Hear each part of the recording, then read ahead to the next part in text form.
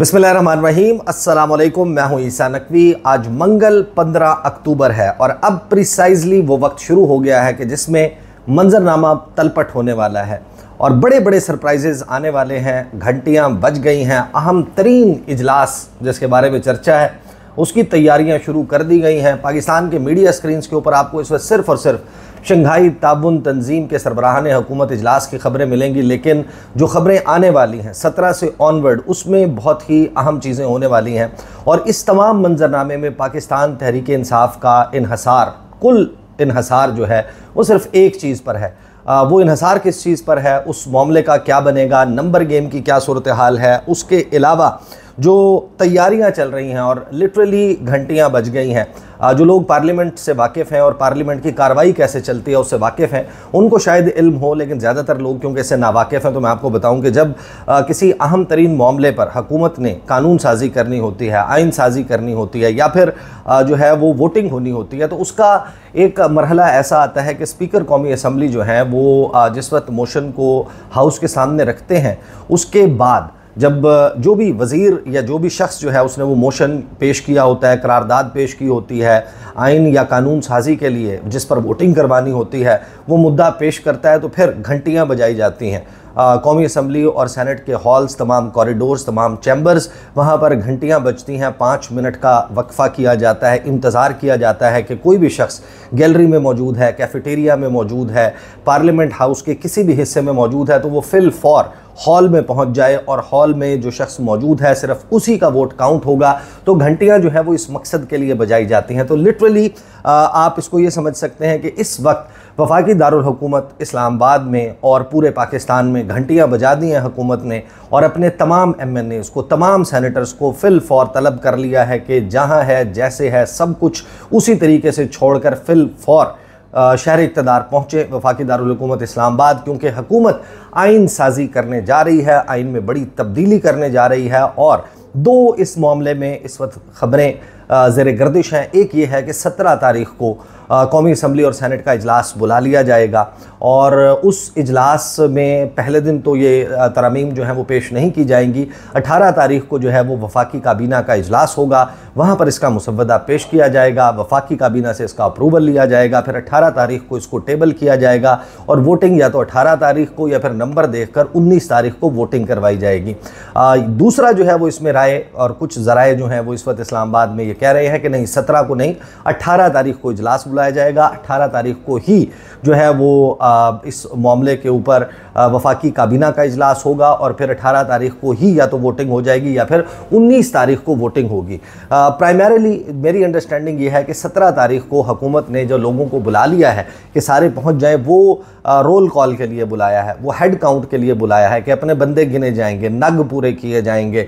224 बंदा इंश्योर किया जाएगा कौमी असम्बली में और चौंसठ बंदा इंश्योर किया जाएगा सेनेट ऑफ़ पाकिस्तान में। और जब इन बंदों की श्योरिटी हो जाएगी तो उसी सूरत में इजलास की कार्रवाई जो है वो चलेगी। इजलास जो है वो बुलाया जाएगा उसमें टेबल किया जाएगा अदरवाइज़ ये मामला नहीं किया जाएगा। अब इस मामले में कुछ सरप्राइजेज़ हैं और सरप्राइजेज़ बड़े इंपॉर्टेंट हैं जो आने वाले हैं और ख़ास तौर पर आ, मेरा ख्याल है कि जिस तरफ़ मामला जा रहे हैं अगरचे ये तब्दील भी हो सकते हैं लेकिन इस वक्त मामला ये नज़र आता है कि तहरीक इंसाफ के जो वोटर सपोर्टर हैं जो उनके वर्कर हैं उनको बहुत बड़ा झटका लगने वाला है।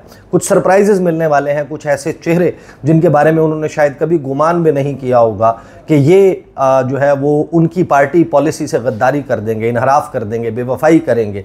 ऐसे लोगों के चेहरे जो हैं वो अब सामने आने का वक्त जो है वो करीब आ रहा है। मौलाना फजलरहमान जो है वो इस मामले में इस वक्त बहुत ही कलीदी किरदार उनका होगा।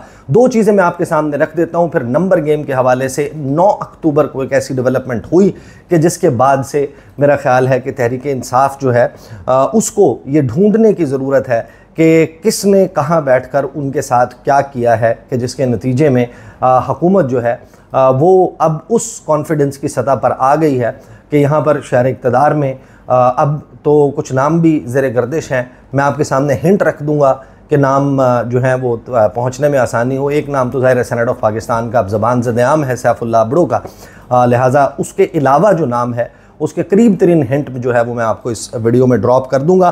सिलसिला ये है और मौलाना फजल रहमान का जो मामला है। एक तो बिलावल भुट्टो जरदारी ने जो गुफ्तु की है, और मौलाना ने गुफ्तु की है, मीरपुर ख़ास में, उस पर मैं अगरचे तफसील से बात कर चुका हूँ, जो मुफ्ती महमूद कॉन्फ्रेंस थी, वहाँ पर जो मौलाना फजलरहमान ने बात की है, जो उनके वालिद साहब के नाम से होने वाली कॉन्फ्रेंस है, उसमें, उससे आप अंदाज़ा लगा सकेंगे कि मौलाना फजलरहमान मुमकिन तौर पर क्या कर सकते हैं। अच्छा बिलावल भुट्टो जरदारी ने जो गुफ्तु की है, उन्होंने कहा कि आइनी अदालत का मैंडेट आवाम ने दिया है। इस पर मुखालफत ज़ाती पसंद व नापसंद की बुनियाद पर है। ये कहा जनाब बिलावल भुट्टो जरदारी ने। उन्होंने क्या कहा? उन्होंने कहा कि 2007 से हर इलेक्शन में अदालती असलाहत पीपल्स पार्टी के मंशूर का हिस्सा है और मिसा के जमहूरीत में वफाकी आइनी अदालत का ज़िक्र मौजूद है। बात तो वो दुरुस्त कर रहे हैं। फिर आगे कहते हैं कि आज के मुखालफी माजी में वफाकी आइनी अदालत की हिमायत कर चुके हैं। ये इशारतन वो मौलाना फजलरहमान की बात कर रहे हैं। आइनी और even for that matter P T I की भी बात कर रहे हैं। आइनी अदालत के लिए मुखालफ मुखालफत ज़ाती पसंद व नापसंद की बुनियाद पर आ, है। आइनी अदालत से मुतलिक दो दहाइयों से हमारी जमात का एक ही मौक़ रहा है। मुंतखब नुमाइंदों को अवाम ने वफाकी आइनी अदालत के क़्याम का मैंडेट दिया। ये कहा है बिलावल भुट्टो जरदारी ने। पी टी आई को मसला क्या है वफाकी आइनी अदालत से? पी टी आई को मसला ये है कि ये ऐलान और ये बात अलल ऐलान अता तारड़ साहब एक प्रेस कॉन्फ्रेंस में कर चुके। चौदह जुलाई को, दो हज़ार चौबीस जिस दिन फ़ैसला आया था, बारह जुलाई को मखसूस नशस्तों का उसके दो दिन के बाद। उन्होंने कहा कि हम पाकिस्तान तहरीक इंसाफ पर पाबंदी लगाने जा रहे हैं आर्टिकल सत्रह के तहत। साथ ही उन्होंने ये कहा कि जो इमरान खान हैं, उसके अलावा कासिम सूरी और आरिफ अलवी साहब। इन पर आर्टिकल सिक्स के तहत कार्रवाई होगी और वगैरह वगैरह। उन्होंने कुछ इकदाम का ऐलान किया। तहरीक इंसाफ को ये मालूम है कि जो मौजूदा सुप्रीम कोर्ट ऑफ़ पाकिस्तान है और वहाँ पर जो इस वक्त जजेस मौजूद हैं, इनकी मौजूदगी में तहरीक इंसाफ पर आर्टिकल सत्रह का सहारा लेते हुए कोई रेफरेंस भेज के जो सुप्रीम कोर्ट ऑफ़ पाकिस्तान ने एड्रेस करना है, वो नहीं हो सकती। उनके ऊपर पाबंदी नहीं लग सकती। जजेस जो हैं, वो उनके ऊपर पाबंदी, अगर आठ जजेस जो है ये कह रहे हैं कि तहरीक इंसाफ पार्टी थी, पार्टी है तो वो उनके जो सियासी हकूक़ हैं, वो सल्ब नहीं किए जा सकते। तहरीक इंसाफ माजी में सपोर्ट करती रही है। इमरान खान भी कि वफाकी आइनी अदालत बननी चाहिए। इस वक्त उनको मसला ये है कि अगर वफाकी आइनी अदालत बन जाती है, उसके हेड जो हैं, वो काजी फ़ाइजीसा साहब जो हुकूमती मुसवदा है, उसके मुताबिक बन जाते हैं। वफाकी हुकूमत ने लगानी है जो पहली कंपोजिशन होनी है इस वफाकी आइनी अदालत की, उसमें तमाम तर मामला जो है, वो शबाज शरीफ के और आसिफ जरदारी के हाथ में है। तो जो कंपोजिशन उस वफाकी आइनी अदालत की बनेगी, उसके बाद पी टी आई ये सेंस कर रही है कि फ़िल फॉर एक रेफरेंस जो है, वो वफाकी काबीना से मंजूर करवा कर भेजा जाएगा और वफाकी आइनी अदालत में उनके ऊपर पाबंदी आर्टिकल सत्रह के तहत कि ये जमात पाकिस्तान की टेरिटोरियल इंटेग्रिटी पाकिस्तान की सॉवरेनिटी पाकिस्तान की खुद मुख्तारी के ख़िलाफ़ काम कर रही है या फ़ॉरन फंडेड है, लिहाजा इसके ऊपर पाबंदी लगाई जाए तो तहरीक इंसाफ को ये लगता है कि अगर ये वफाकी आइनी अदालत बन गई तो उनकी सियासी जमात को कल अदम करार दे दिया जाएगा, बैन कर दिया जाएगा। और ये वाहिद नुकता वजह समझ आती है कि तहरीक इंसाफ वफाकी आइनी अदालत और काजी फ़ाइज़ साहब की मुखालफत कर रही है। अब ये जो मंजरनामा है इसमें जो मौलाना फजलरहमान है, वो और उनके और बिलावल के दरमियान आज मुलाकात होने जा रही है।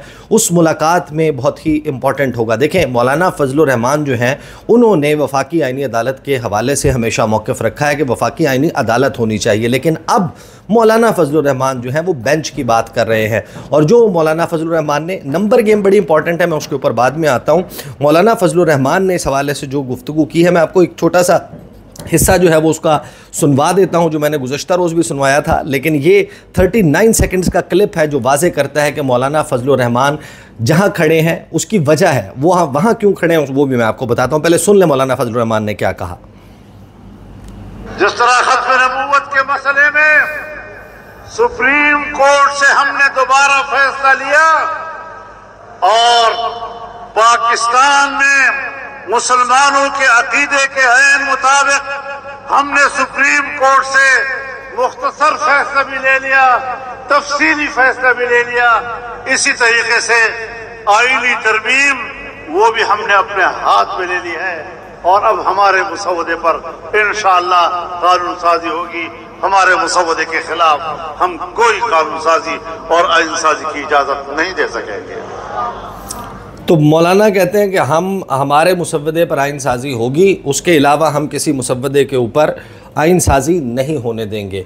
अब जो बारगेन करना है हुकूमत ने मौलाना फजल रहमान से कि वो आइनी बेंच जो है वो वफाकी आइनी अदालत के लिए एग्री कर जाएँ। लाइकली यही लगता है कि मौलाना फजल रहमान कुछ दो कुछ लो की बुनियाद के ऊपर, जो हुकूमत की अड़सठ साल की शर्त है, जिसमें काजी फायजीसा साहब पोस्ट अमेंडमेंट सिनेरियो में मंजरनामे में नज़र आते हैं, उस पर हुकूमत से सरेंडर करवाएँगे और बेंच के मामले पर ख़ुद सरेंडर करके आइनी अदालत के क़्याम पर राज़ी हो जाएँगे। अगेन ये मेरी इन्फॉर्मेशन नहीं है, ये मेरा एनालिसिस है, ये मेरा, मैं, मुझे लगता है कि Maulana Fazal Rehman final give and take में इस मामले के ऊपर जाके इसको इस तरीके से सेटल करेंगे और फिर मौलाना फजल रहमान ऑन बोर्ड आ जाएँगे। अगर मौलाना फजल रहमान ऑन बोर्ड नहीं आते तो फिर मंजरनामा बड़ा गंभीर है। देखें मौलाना फजल रहमान क्यों ये कर रहे हैं? मौलाना फजल रहमान जिन लोगों को अपने साथ, जो उनकी मौजूदा सियासी हैसियत है, जो उनकी मौजूदा पार्लिमानी हैसियत और नंबर है, उसका ज़िम्मेदार जिन लोगों को समझते हैं, उनमें से काजी फाइजीसा साहब एक हैं। दूसरा, मौलाना फजल रहमान मौजूदा चीफ इलेक्शन कमिश्नर, जो लास्ट आपका सिक्योरिटी जो एजेंसीज़ का सेटअप था, उसको भी बड़ी हद तक ज़िम्मेदार समझते हैं। लेकिन उनका सबसे बड़े जो उनके जहन में, उनके मुजरम हैं, वो आसिफ अली जरदारी और मियाँ मोहम्मद नवाज़ शरीफ हैं, जिन्होंने दुबई में बैठ जो ख्वाजा आसिफ साहब की एमरेट सेल्स में प्रॉपर्टीज़ हैं वहाँ पर बैठकर जो उन्होंने मंसूबा बनाया था कि सदर जो है वो पीपल्स पार्टी बना ले और वज़ी अजम जो है वो मुस्लिम लीग नून का हो, उस वक्त प्लान ये था कि मियाँ मोहम्मद नवाज़ शरीफ हों। तो सदारत की कुर्सी खो जाने का गम मौलाना फजल रहमान को उसने इस कदर डैमेज किया कि वो ऑल अलॉन्ग रुए रवा थे पी डी एम की तमाम तहरीक का और उनके हाथ क्या आया।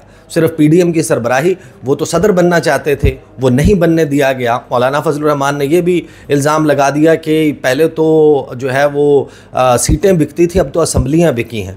और ऐवान सदर का सौदा हुआ है। अरबों रुपए की वो इल्ज़ाम लगा रहे हैं, वो इलेक्शन चोरी का इल्ज़ाम लगा रहे हैं। तो मौलाना फजल रहमान ने जो मुफ्ती महमूद कॉन्फ्रेंस में जो कुछ कह दिया है, उससे पीछे हटना उनके लिए बड़ा मुश्किल होगा। मौलाना फजल रहमान को कम अज़ कम अब ये तासर इंश्योर करना पड़ेगा कि हकूमत उनके मुसवदे पर आई है, ना कि ये कि वो चल कर हकूमत के मुसवदे पर चले गए हैं। ये तो डेड लॉक जो है वो बाकायदा अब नज़र आता है। ये मौलाना फजल रहमान जो हैं, उनका ज़ाहिर के मुबारक सानी केस के हवाले से भी जो उनकी पार्टी के अंदर राय पाई जाती थी। काजी फायजीसा साहब के हवाले से जो वो गुफ्तु करते रहे उनकी पार्टी के लोग गुफ्तु करते रहे हैं तो एक बड़ा मुश्किल नज़र आता है कि मौलाना फजल रहमान कम अज़ कम काजी फायजीसा वाले मामले पर राज़ी होंगे। तो फिर जो पी टी आई का कंसर्न है कि आर्टिकल सत्रह के तहत जो पाबंदी का मामला है, अगर उसके ऊपर उनको कोई एश्योरेंस मिल जाए या वो मामला हो जाए तो पी टी आई मौलाना फजल रहमान के मुसवदे पर बड़ी हद तक राज़ी नज़र आती है। ये मैं आपको on the basis of information बता रहा हूँ कि अंदरून खाना पी टी आई सेटिस्फाइड है कि जो मौलाना फजल रहमान का इस वक्त मुसवदा है। अगर वो उसके ऊपर किसी भी हुकूमती शर्त के ऊपर सरेंडर नहीं करते तो वो फिर इसके लिए राज़ी नज़र आते हैं। अब आ जाते हैं असल वो मामला जिसके लिए आपको सरप्राइजेज़ नज़र आएँगे। जो है, वो पहले तो अपने बंदे इंश्योर करेगी। देखें नंबर अपोजिशन ने पूरा नहीं करना। नंबर पूरा करना है, हुकूमत वक्त ने। 224 बंदे उनको चाहिए कौमी असम्बली में आईएस की गैलरी में, और उनको चौंसठ बंदे चाहिए सेनेट ऑफ़ पाकिस्तान में आईएस की, यानी कि फेवर ऑफ़ दी अमेंडमेंट्स उसकी गैलरी में, उसके हक में वोट देते हुए चाहिए। नंबर गेम यह है कि उनके पास 11 बंदे कौमी असम्बली में कुल मिलाकर शॉर्ट थे, हुक्मरान इतिहाद के।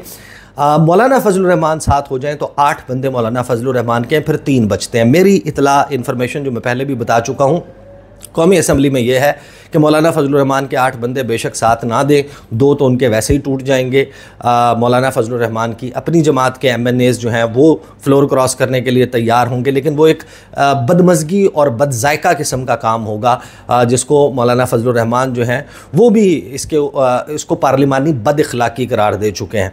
आ, उनकी पार्टी के लोग कह चुके हैं कि ये फिर पार्लिमानी बद अखलाक़ी होगी कि ज़मीरों का सौदा हो। तो आठ बंदे उनके अगर ना भी हों तो मेरी इतला ये है कि पीटीआई के जो लोग हैं, उनमें से 11 बंदे इंश्योर हो जाएँगे कौमी असम्बली में।